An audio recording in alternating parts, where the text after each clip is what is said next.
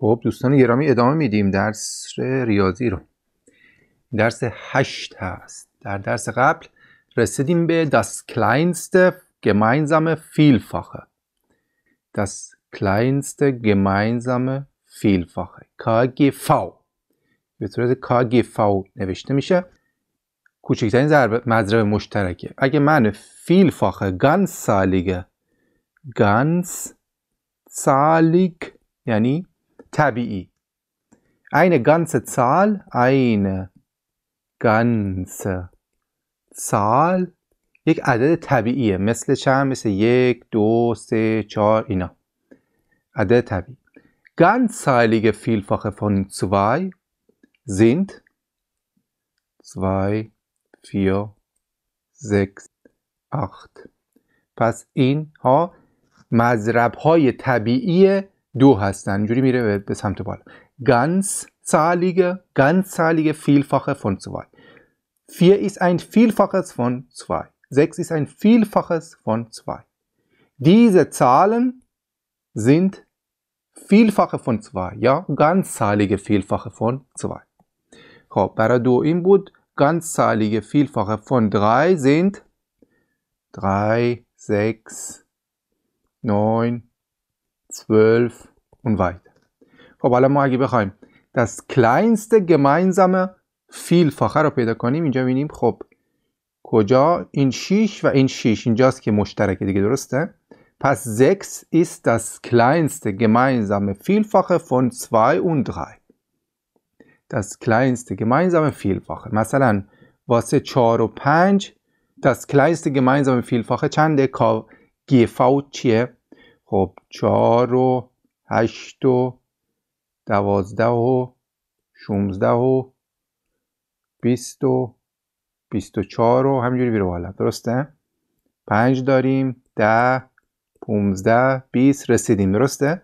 اینجا. Das kleinste gemeinsame Vielfache von 4 und 5 ist 20. خب. گفتیم das kleinste gemeinsame Vielfache خیلی استفاده داره برای وقتی که می‌خوایم مخرج مشترک بگیریم. درسته؟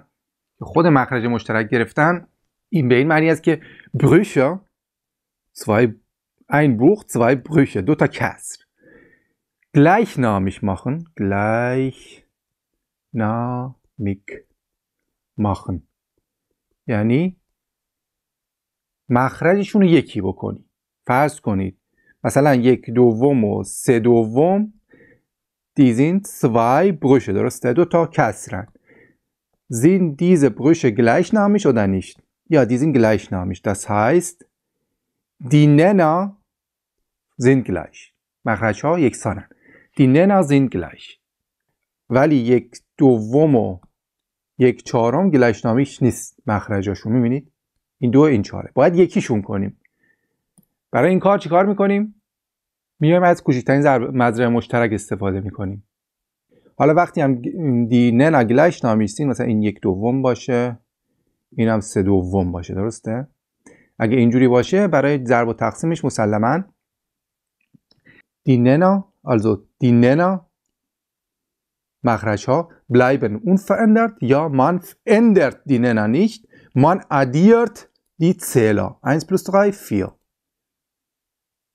man addiert die Zähler zum Beispiel wir haben ein Viertel plus drei Viertel man addiert die, sind diese Brüche diese zwei Brüche gleichnamig ja die sind gleichnamig, die Nenner sind gleichnamig, die Brüche sind gleichnamig. So, man ändert die Nenner nicht. Also hier bleibt die Zahl 4 unverändert, bedune Tarif. Und man addiert die Zähler. 1 plus 3, 4. 4 Viertel gleich 1. Ja? Zum Beispiel 3 Siebtel minus 1 Siebtel. Man ändert die Nenner nicht, weil die Nenner gleichnamig sind. 7. Man subtrahiert. subtrahiert یعنی تفریق میکنه. آدم تفریق میکنه 3 minus 1, 3 minus 1. Man subtrahiert die Zähler. Man ändert die Nenner nicht. Das ist, wenn die Nenner oder die Brüche gleichnamig sind. Wenn die Brüche nicht gleichnamig sind, ja ungleichnamig sind, muss man die Nenner erstmal gleichnamig machen. Also wenn zwei Brüche verschiedene Nenner haben, zum Beispiel ein Halb plus ein Drittel. Diese zwei Brüche haben verschiedene Nenner, einmal zwei und einmal drei. Nun muss man die Brüche gleichnamig machen. Dazu braucht man das kleinste gemeinsame Vielfache. Das kleinste gemeinsame Vielfache von 2 und 3 6. اینجا میشه گفت آدم این کسرها رو این دوتا کسر رو اروایتر می‌کنه. اروایتر یعنی گسترششون میده. که با این هدف که گلیش ننا بکن که به این زکس میگن هاوپت ننا بعضی مواقع. پس هاوپت هاوپت ننا Hauptnenner همون das kleinste gemeinsame Vielfache هست. درسته؟ 6 خب پس das kleinste gemeinsame Vielfache دی مخرج مشترک گرفتن یا یکی کردن مخرج میشه دی ننا یا دی بروشه gleichnamig machen می‌تونیم بگیم man bringt die beiden Brüche auf denselben Nenner auf den selben, denselben رو با هم می نویسن ننا bringen پس die Brüche auf dieselben, auf denselben Nenner bringen. Hm? Auf denselben Nenner, ja, auf den Hauptnenner میشه گفت. Auf den Hauptnenner bringen. اول باید این کارو بکنیم. Der Hauptnenner ist das kleinste gemeinsame Vielfache der Nenner. Das kleinste gemeinsame Vielfache der Nenner کوچکترین مضرب مشترک مخرجه ها میدونید که ننا در ننا هست جمع, جمع دوتا باشه دی ننا درسته؟ خب pас man Adam باید die Nenner muss man erstmal die Brüche muss man gleichnamig machen zuerst gleichnamig machen das bedeutet was bedeutet gleichnamig machen das bedeutet dass man die beiden Brüche auf denselben Nenner bringen soll. Dass man die beiden Brüche auf denselben Nenner bringt. Oder dass man die beiden Brüche auf den Hauptnenner bringt. gemischte Zahlen رو مثلا داشتیم قبلا هم بهتون داشت گفته بودم مثلا 3 2 Fünftel خب پس عین گمیشت سال میشه گفت یک, یک جمعی از یک یک جمعی است از یک عدد طبیعی مثلا اینجا یه جمعی است از سه و دو پنجم. اینجوری است درسته؟ درای زوی فنفتل اینجوری می‌خونن. عدد طبیعی یا این این تل میشه به این گفت. اینم این بوخ هست. من کن این گمیشت سال این این بوخ اوم رشنن اوم رشنن اوم رشنن یا اوم فرمن یا اوم واندل تبدیل کنه. ببین با اگر با محاسبه تبدیلش کنم با ضرب و تقسیم و اینا تبدیلش کنم با حساب میشه umrechnen مثلا من می‌تونم eine gemischte Zahl in einen Bruch umrechnen یعنی اینو تو قبلا ممکن تو مدرسه اینجوری یاد گرفته باشید. 5 3 تا 15 تا و 2 تا 17 پنجم. می‌تونیم اینجوریش کنیم.